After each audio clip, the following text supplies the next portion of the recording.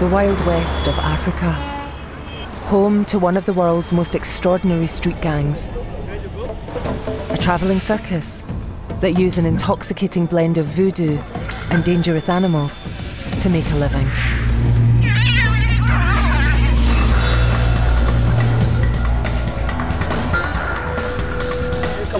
Not everyone can do this. It's magic. For the first time, this bizarre urban tribe has given access to film, revealing a way of life that is both fascinating and shocking. My specialty is baboons. I train them in such a way that when you look at them, you think they are humans. We dig beneath the surface of this wild world that appears dangerously out of control and explore the myths that surround these enigmatic people and their troop of baboons, snakes, and hyenas. Behind the spectacle, we discover a close knit family that have a unique and controversial relationship with their animals, steeped in magic and tradition. This is what we inherit from our forefathers. Our children here are going to inherit the same traditions. But who are these people? And how do they live so close to such dangerous animals? Even when the animals hold us or bite us, it doesn't hurt.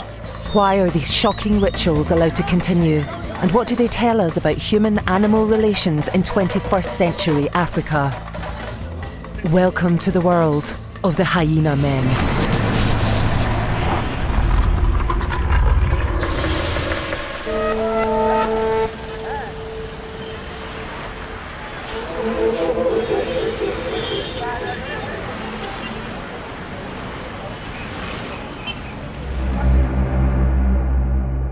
Nigeria, a West African country, tarnished with a violent history of military dictatorships, corruption, and fraud.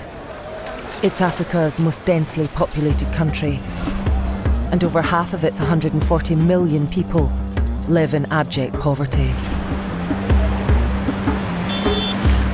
Our journey begins in the clogged heart of Lagos, Nigeria's most infamous city.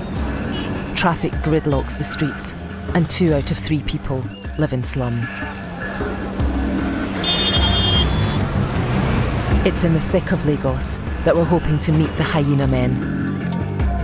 Last thing we heard from our local contacts is that they are living at the back of this market.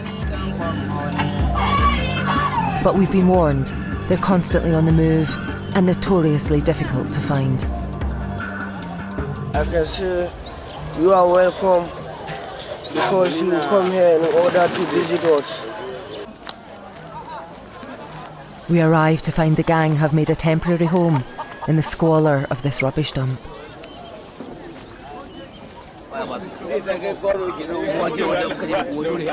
Living with the hyena men are the animals they've caught from the wild and brought to the city to perform in their street circus.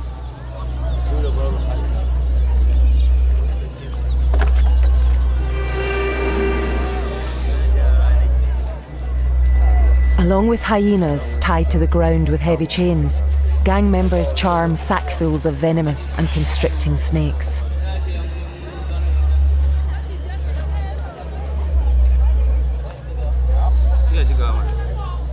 We also discover a troop of a dozen or so baboons.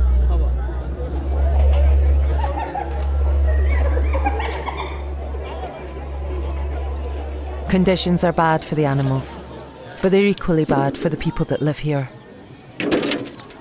Virtually no one has access to drinking water, electricity, and waste disposal.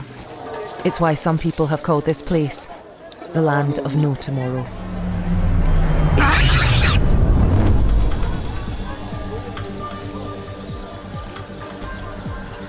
The hyena men are Hausa Muslims from the rural farmlands in northern Nigeria. They are said to practice voodoo and use ancient magic to bring wild animals under their control.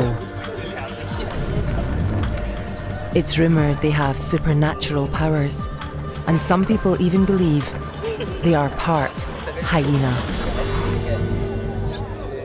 Alhazi is the boss of the hyena men. This thing we do, I have inherited from my forefathers.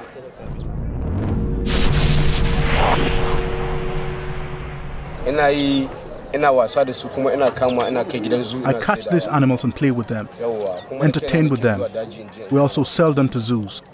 I catch these animals myself. We go into the bush to get these animals, and when we bring them out, people are astonished. These are not animals that live with humans naturally. When people see them, they are amazed. God has given us the powers to stop them harming anybody. This is how we earn a living.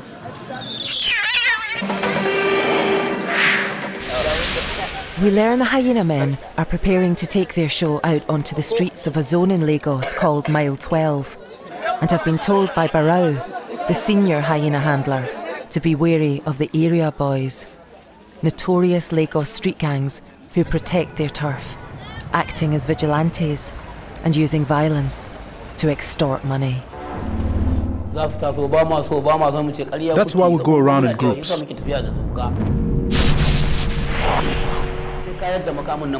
If they harass us, we are ready for them. Even if they bring knives, we chase them with our animals until they drop their knives. Some African newspapers have made allegations that these men are bank robbers, debt collectors, and drug dealers. But in truth, no one really knows. One thing's certain no one messes with a man with a hyena.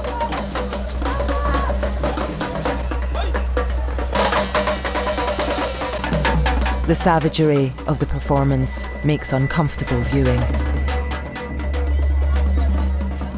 Although this form of entertainment is fully legal in Nigeria, the apparent brutality of this unique street act challenges Western taboos.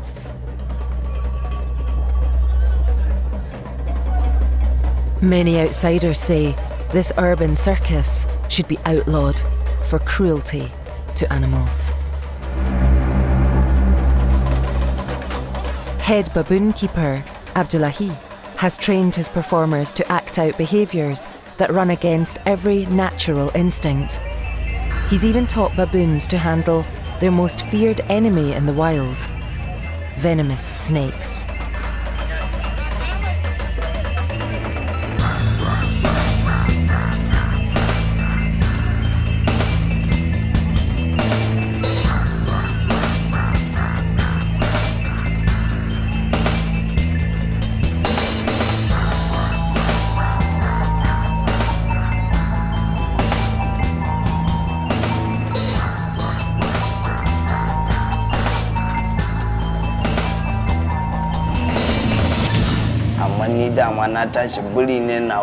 My specialty is the baboons. I train them in such a way that when you look at them, you think they are human.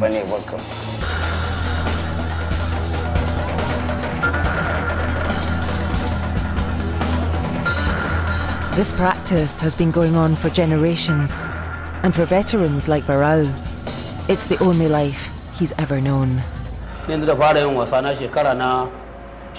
been doing this for 50 years. I was nine years old when I started.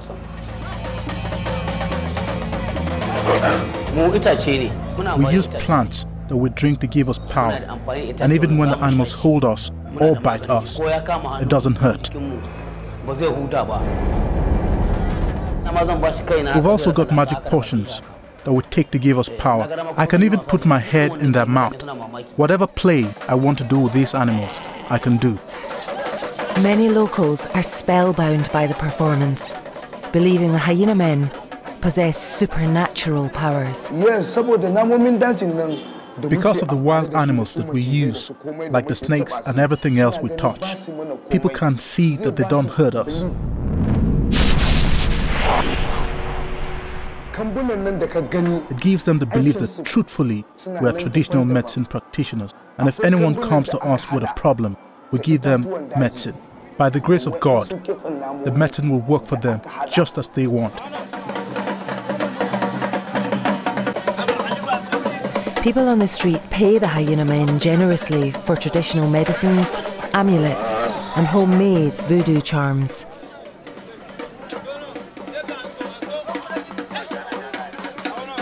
Many Nigerians still live in fear of witches and evil spirits and believe the men's potions will be effective in warding them off.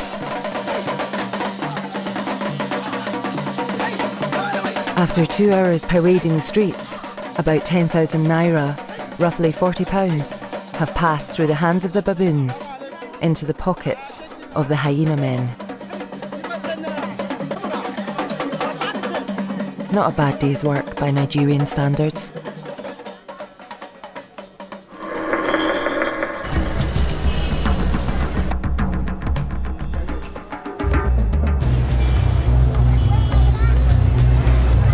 Hyena men spend about half the year travelling and performing across the whole of Nigeria. The rest is spent living with their families in the villages and townships of the north.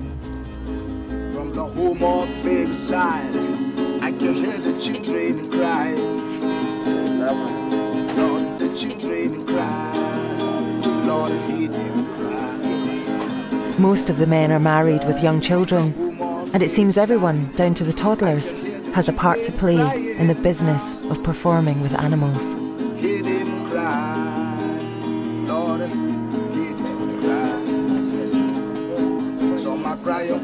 At hyena handler Barau's house, snakes are at the centre of everyone's attention.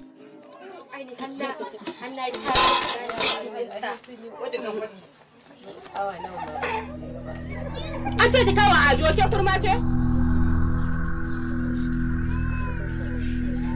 Barau's children, some still crawling, are being taught to handle snakes by their mothers, who have fed them magic potions to give them immunity from venom.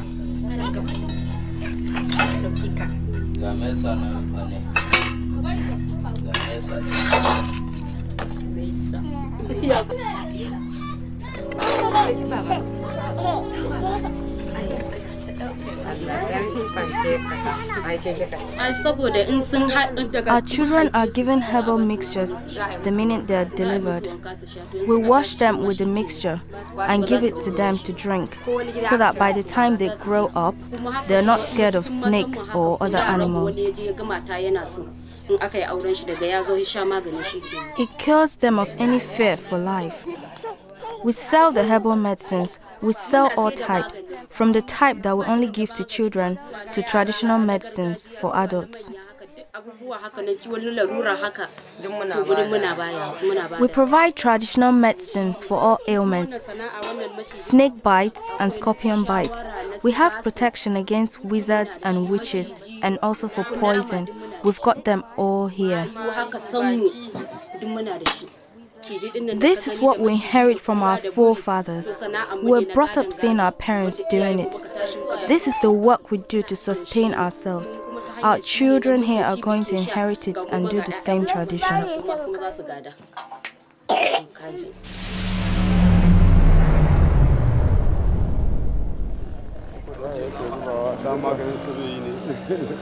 Alhazi, who's recently been appointed the head of the hyena men, is visiting his family home in Katsina in the far north of Nigeria. He's told us that he's got fingers in many pies. As well as running the animal circus, he's also involved in organised street fighting, as well as managing these extreme performers who do extraordinary things with knives and nails. Alhazi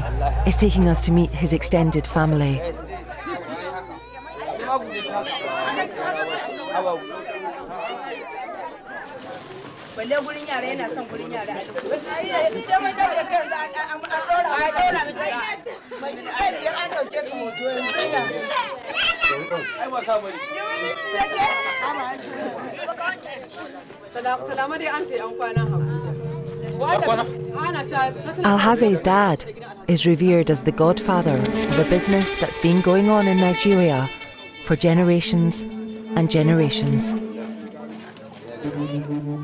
Alhaji Ahmadu Nalado, Sarkin Gaddi. My name is Alhaji Amadu Nalado, district head of Gadi in Katsina. To na shekara ashirin I'm 20 multiplied by 4 and add 10.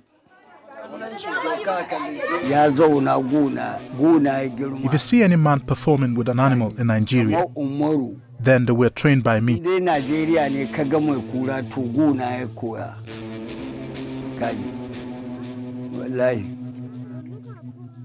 Da maciji kamar wannan We go out to greet people with snakes, like this one, that we catch and put in our pocket, like this.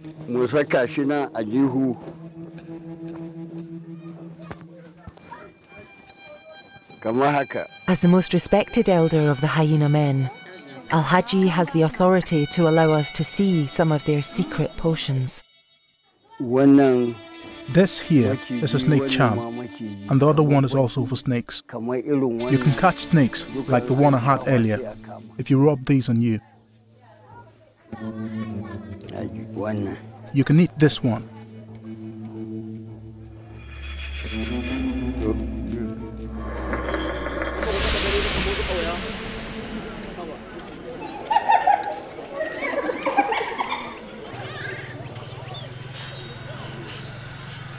The hyena men have a complex relationship with their animals that's not unlike that of an extended family.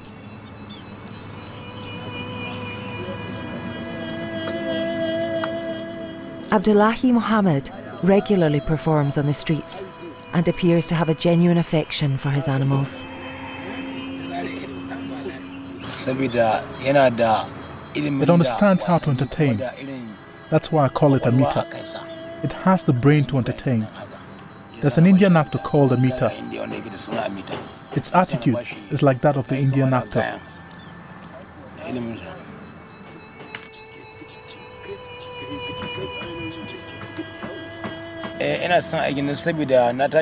I like my job because that's what I grew up with. When I grew up, my parents, grandparents, and brothers were doing the same thing. So you know I can't leave what my people do. I've earned a living from this, got married from this, I've made a home from this. All that I have has come from this.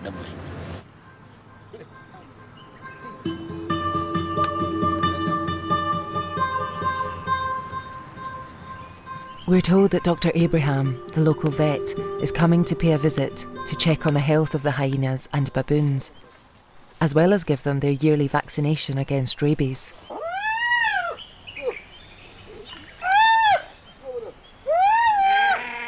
ɗin nan ko vaccination is very important. Why we do this is so that uh, when the hyena by mistake bites either the owner yes in the course of uh, event uh, the, the person is protected. And then when he bites an onlooker in the course of play the person beaten is uh, protected. Yes. And then when another rabid dog or hyena bites the vaccinated hyena the hyena is protected. The presence of a fully trained vet gives a bizarre legitimacy to the hyena men's operation. It seems as long as their animals have up to date vaccination certificates, the government will issue a license that allows the hyena men to perform with their animals in public.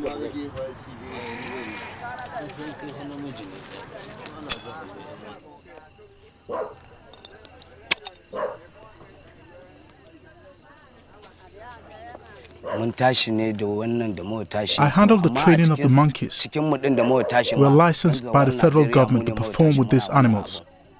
Our license is in Lagos, but it covers us to perform in the whole of Nigeria.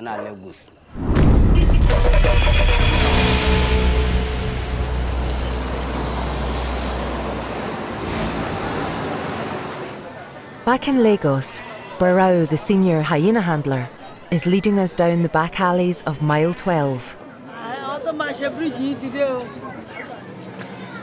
It's feeding time for the hyenas.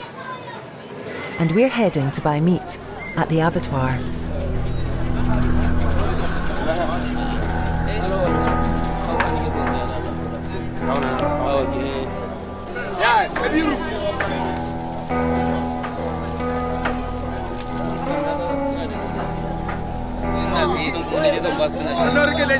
This goat meat is normally reserved for human consumption.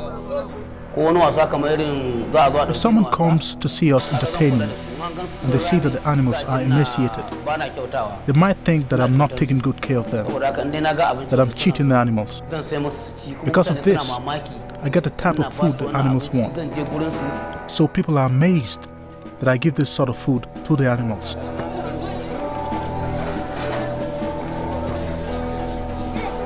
Barau says the hyenas are fed every other day. To his mind, they have a good life and is puzzled when asked whether it might be wrong to be keeping hyenas in the urban chaos of the Lagos slums. You mean like it's not a good thing? It is a good thing in our eyes.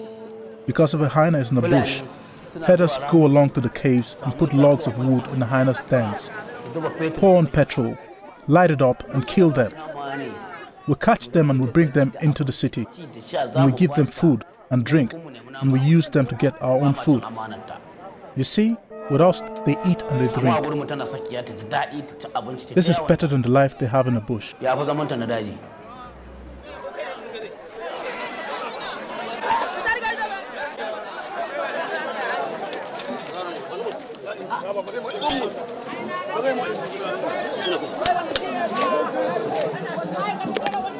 Hyenas are formidable predators, equipped with a powerful jaw.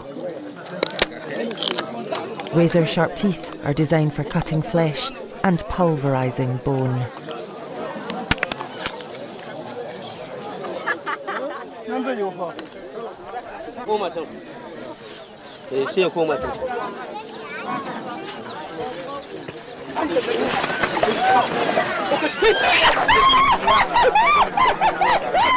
But the hyena men believe they have the upper hand. They have absolute faith that their magic concoctions, derived from a secret mix of plant and animal parts, enable them to control and subdue their star performers. When we go to get these animals, we use magic potions before we go into the caves. And we can apply potions to the animals to make them harmless to people. There's something we give the animals when we're training them that makes them listen to us and understand everything that we say in whatever language we use.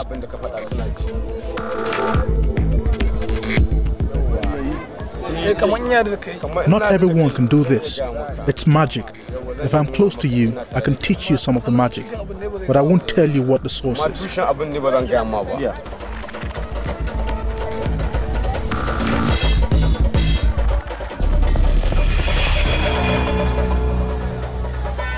Although the men have complete trust in their animal magic, the hyena men are not immune to injury from their wild pets. The baboons they keep are highly intelligent and are renowned for their ferocity and lethal bite. Threatening opponents with their long fangs and sharp claws.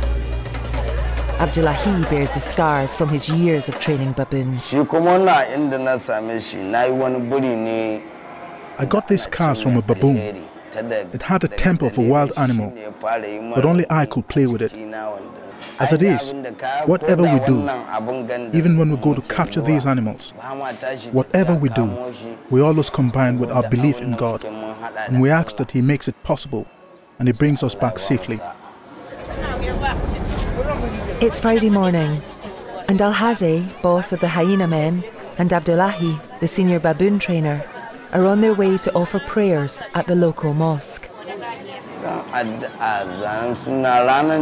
go to the mosque on Friday. I don't miss the mosque. I do all five prayers every day.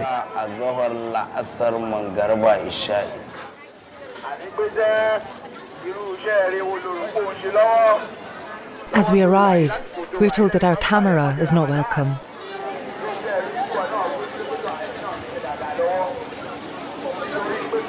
We leave Al Alhaze and Abdullahi to attend the mosque on their own.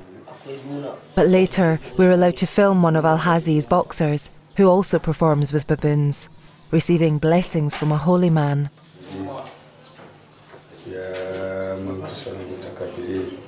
Tonight there's a big fight, and boxer Lawal Muazu is seeking God's protection.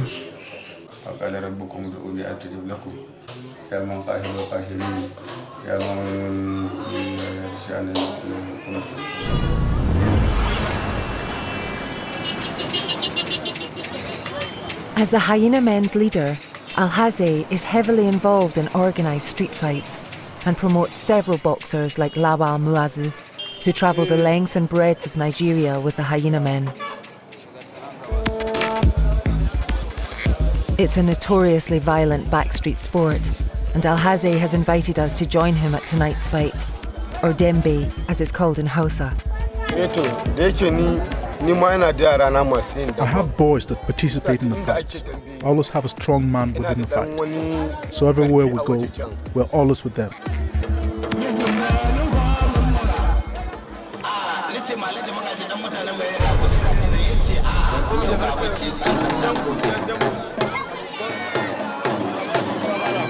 After offering prayers to Allah, Lawal Muazu uses black magic to give him extra powers in the fight.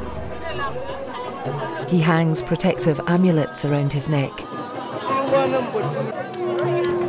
as well as using a razor blade to cut his arm to administer magic potions. Before you go into a fight, you make sure that you mix the potions with your blood in the cut and apply them so they stay in your system.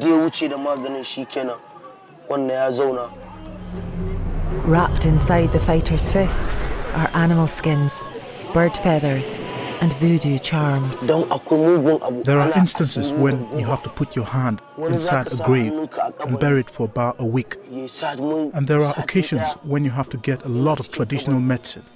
Some make use of broken bottles, some use snake venom, some use a snake tongue, and then mix it all up and rub it in their hands. So when they strike a hard blow at someone, he dies.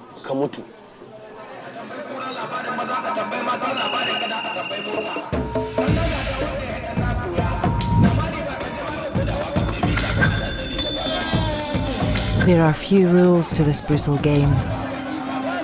Fighters have three rounds to knock their opponents to the ground, but if they're evenly matched, the contest can last for hours. You can only punch with one hand. The fist is bound in flax, wetted, and then covered in sand to give extra sting to the punch. The other hand is used for defence, as well as to trick and taunt. The idea is to tempt your opponent to make a false move before delivering the knockout punch. Sometimes people die, even if they don't die there. They get hurt in some way that they go back and die at home. Some other ones get injured and get ill and die gradually. There are some that die there on the spot. One of Alhaze's boxers, called Ismaila, is nicknamed the hyena for his fierce fighting.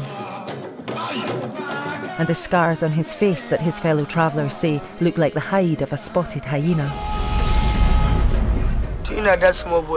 When I was a small boy, I had scalding water on my face. And this is how I've been fighting ever since.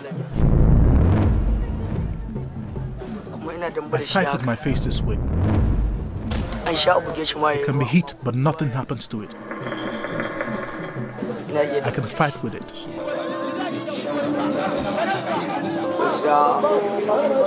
Truthfully, I have to fight.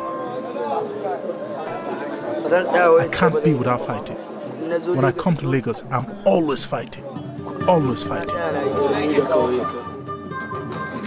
Like the hyena men, it seems that this is a world you're born into and that you don't question. Most of the boxers feel they've no choice. Their life as backstreet fighters, they say, has been chosen by God. You know, fighting is my destiny.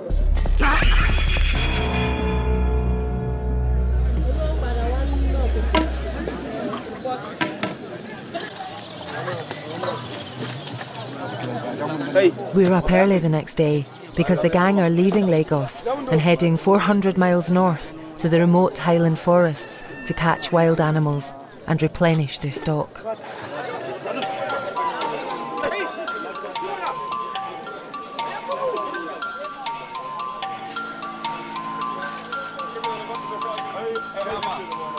Seeing a baboon clamber onto a clapped out minibus, it's apparent that the hyenas, monkeys, snakes, and men are going to squash in and travel together. To these guys, there's nothing unusual about having a 180 pound hyena sitting on your lap as a travel companion.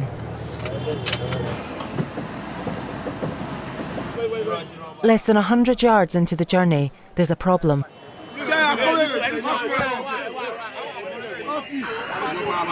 It's a gang of area boys.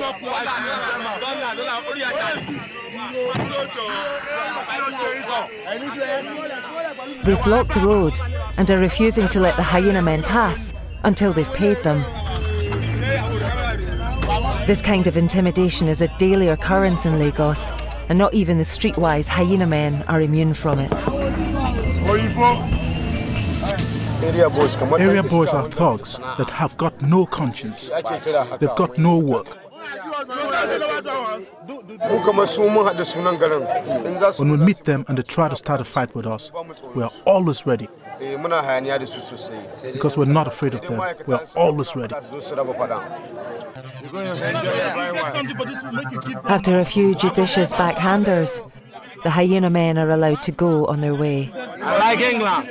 I stay in Peckham. And if you don't give them something, then we allow you to go.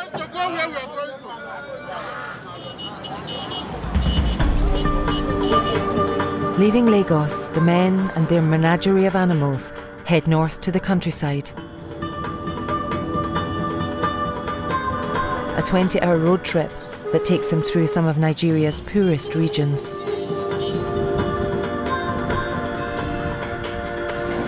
At least 70 million people, half Nigeria's population, live in abject poverty and have no access to clean water. Despite the fact that historically the government and military have extorted billions of dollars from the rich supplies of the country's oil.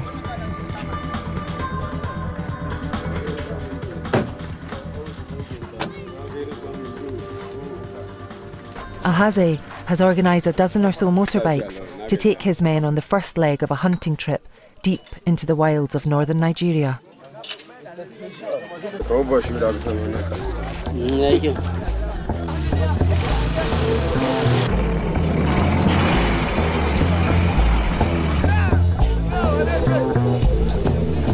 They're heading into the bush to catch animals to sell to Nigerian zoos and private collectors, as well as to use in their own performances. Before entering the bush, the hyena men stop to buy flashlights. They'll need these to illuminate the pitch black cave systems where the hyenas live.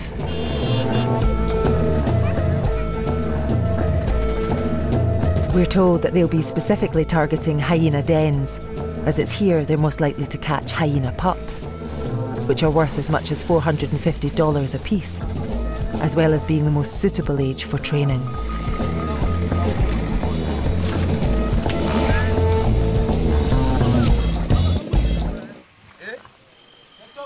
The hyena men have reached the end of the road and left their motorbikes, as from now on, vehicle access is impossible. They've stopped at a small herder settlement to rest, eat bushmeat, and catch up on news from local hunters who know the caves where the hyenas den like the back of their hand.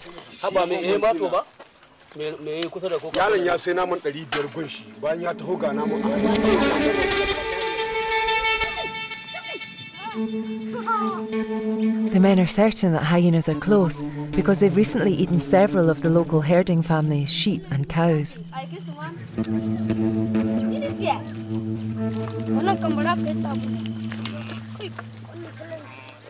As far as this community, who rely completely on their livestock for their livelihood, is concerned, the presence of the hyena men is welcome.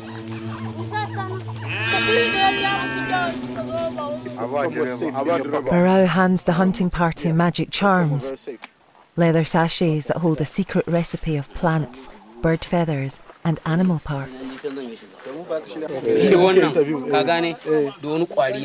With this charm, you'll be protected from wild animals. If a lion or hyena or any wild animal comes close to you, it will run away because of the smell. So, Kabashi. Yo. Explain to you. Thank you. Now the hyena men are on foot. They're being led by two local bushmeat hunters who live for weeks at a time in this wilderness, often on their own, hunting monkeys, deer, lizards, and snakes. A six mile hike to base camp takes the party deep into an almost pristine forest. On the journey, we pass men who spend their lives working in the blistering heat. Hello. Hauling out 300 pound timbers, probably illegally, and likely destined for trade in the West. Yeah,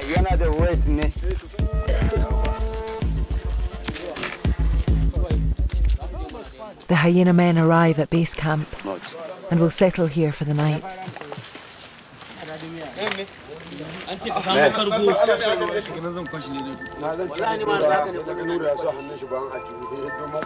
They're 400 miles from where we first met them on the dump in Lagos.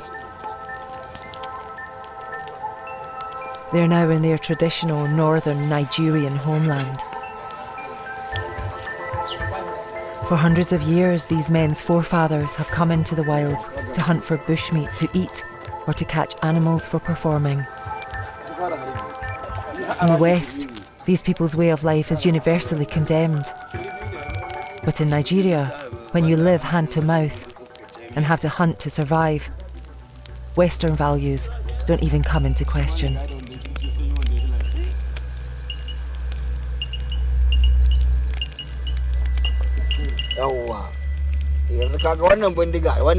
You see this gun?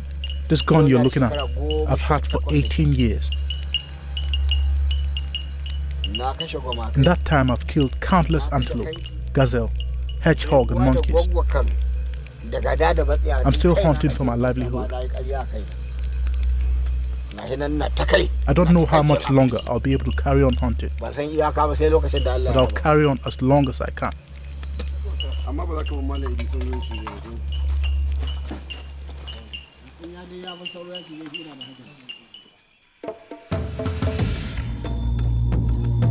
Early next morning, the hyena men are up for the hunt. Barau is back in his bag of magic potions he insists will not only make him invincible, but also invisible to hyenas.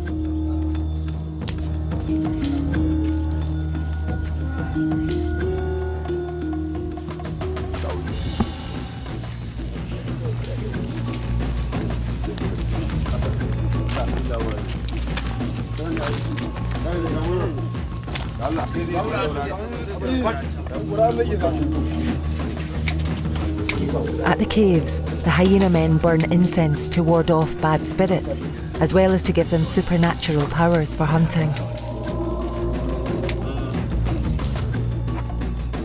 They prepare wire nooses that they'll use to slip around the neck of hyenas to constrain them.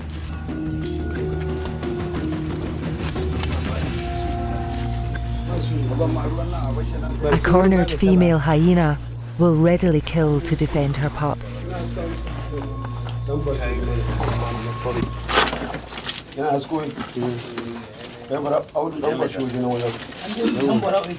But Abdullahi has complete faith that his magic charms and potions will protect the men from being attacked.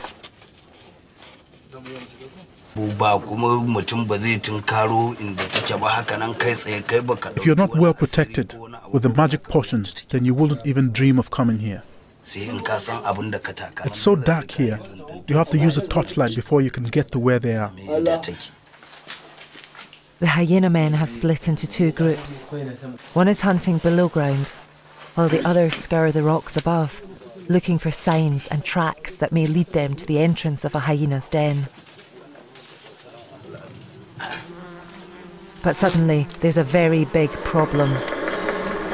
A hive of African bees has been disturbed by the hunting party, and now they're starting to swarm, aggressively defending their territory. You get chased by bees around here, there isn't much you can do. It will get stung bad. I've been stung five times already. I've been stung yeah. too.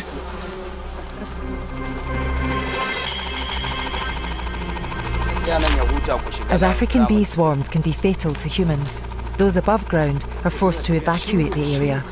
It's simply too risky to stay here.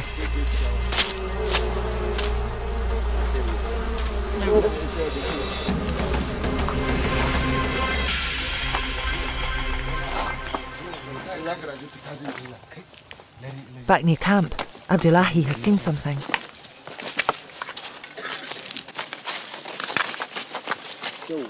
It's obviously not a hyena, but they think it could be a large cobra that's taken cover in the crack of this rock.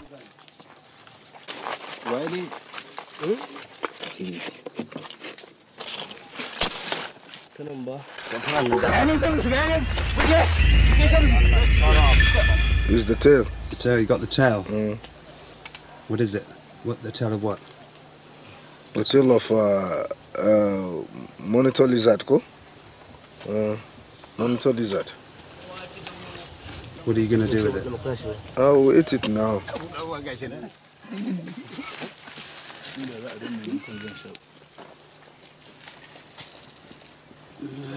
It appears that after the best part of two days hunting in the bush, the sum total of the hyena men's effort is a 10 ounce lizard. But everyone seems happy, as this kind of lizard is a real delicacy in this part of the world.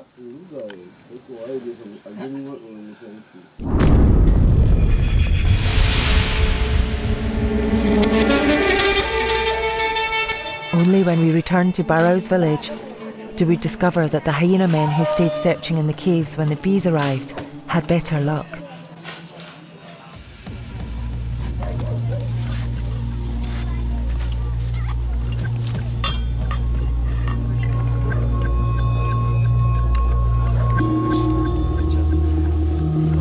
They've caught a three month old hyena. And head of the hyena men, Alhazi, is very pleased.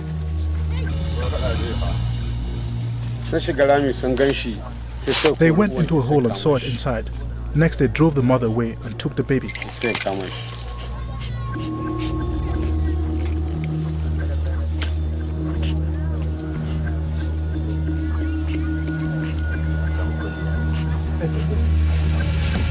As it is now, I could get $450 from the zoo.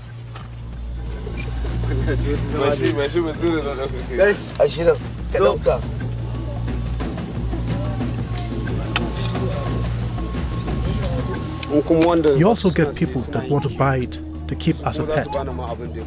Such people can afford to pay much more than $450.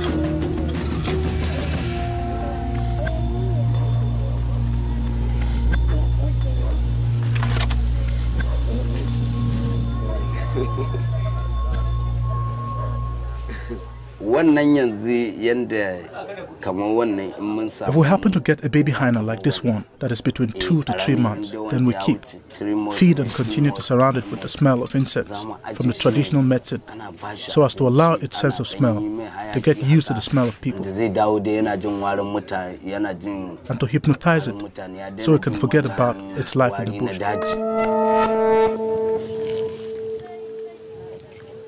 Daji to za a dinga yi mai wannan ana ba shi abinci ana dan yi The process of hypnotizing it with incense and feeding it will continue for about three to four months before training begins properly. fara yi mai training Yawa, ya riga ya By then, it's strong enough, and all the memory it has of its mother is entirely gone. Eh, we can continue with its training.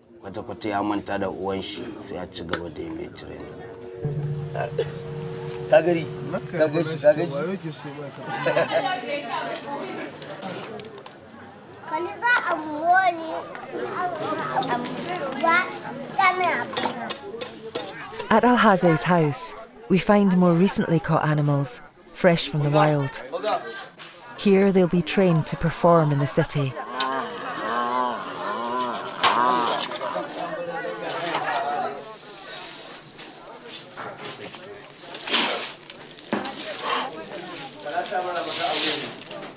One of the hyena men shows a baby baboon being introduced to a python for the first time.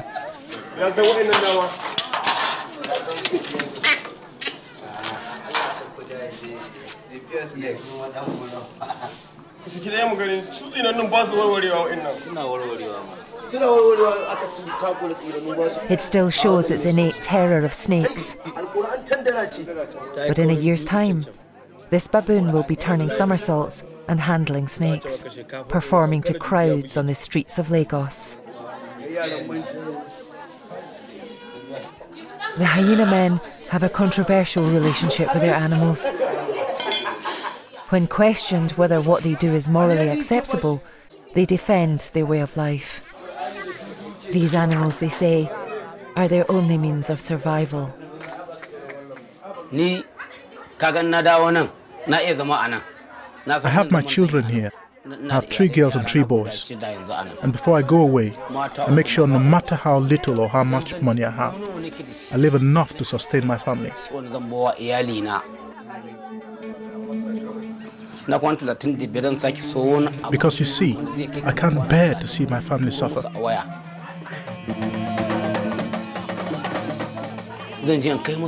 I eat, drink, and sustain myself with this business. God has given me this. I may not be wealthy, but I'm comfortable.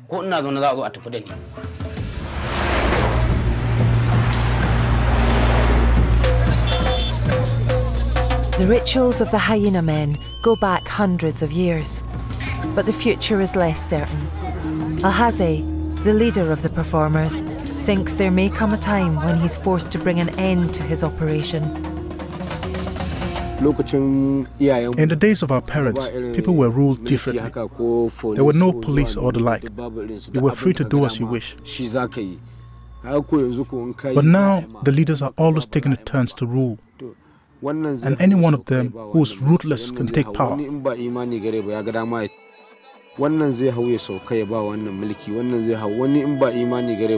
Someone might come into power and decide he does not want to see animals roam the street. ba za su hana ba saboda su ma sun ga zamanin iyayensu. And will have no option but to stop. ba za su daina ba. Amma in wani ya hau zai ce baya so. Ya gani That is what I'm thinking all the time.